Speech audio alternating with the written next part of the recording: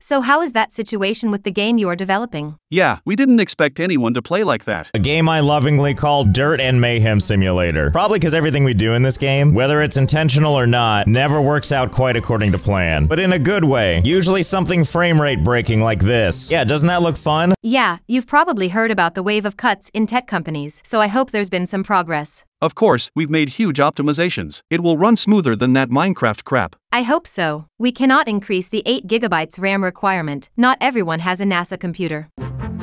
Oh yeah, that's what we like to see. Just a big old pile of minerals. Something tells me those crucibles are probably filled now. I'm afraid to move because as you can see, the frame rate is going, shall we say, conservatively. In case you're wondering, by the way, what kind of toll this is having on my computer, it's not too bad. It's only taking up like 20 gigs of RAM. First things first, let's make our way over to the shut-off valve because maybe if stuff isn't moving, the frame rate will just get a tiny bit better.